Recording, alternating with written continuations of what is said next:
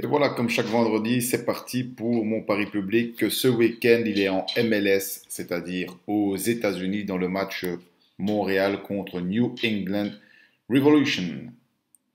Alors, le match a lieu dimanche à 1h30. Mon pari et mon analyse tout de suite. Mais avant, n'oublie pas de t'abonner à ma chaîne YouTube. Je te remercie d'avance. Donc, ces deux clubs-là, Montréal, qui est en fait un club canadien, et reçoit New England Revolution.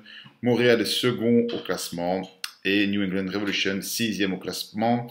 Au niveau des confrontations directes, donc le dernier match qui s'est joué entre Montréal et New England, c'était en septembre 2021. C'est terminé sur le score de 1-4. J'ai jeté aussi un œil sur les blessés, pardon, que tu vois ici. Donc ici, ce sont les quatre personnes qui sont certaines de ne pas jouer.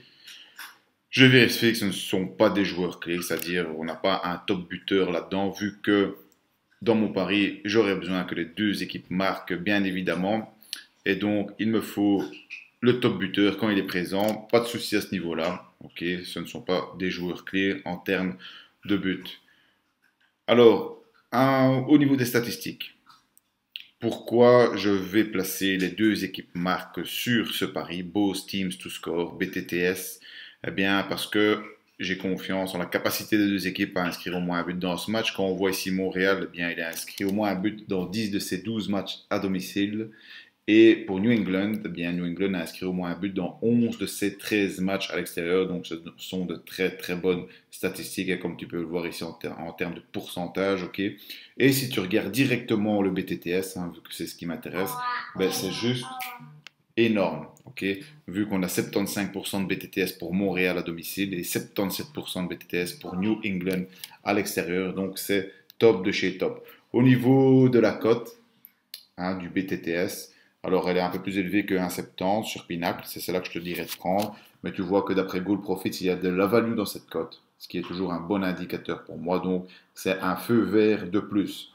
Justement, au niveau de la cote, je te disais que si je vais sur les bookmakers.com voir le BTTS, la cote moyenne sur les bookmakers.com est de 1,76.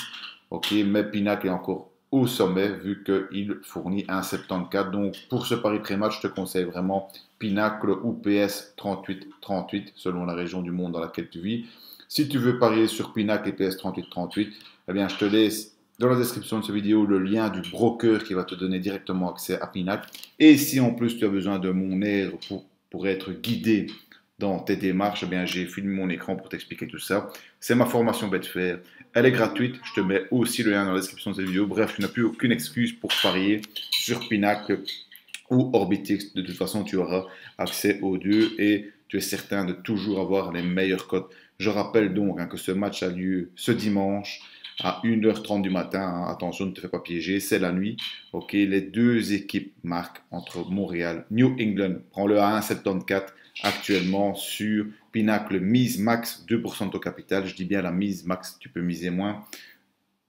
Et voilà, je pense que j'ai terminé, j'ai fait le tour de ce petit pari. Je te souhaite du succès pour ce week-end et à bientôt.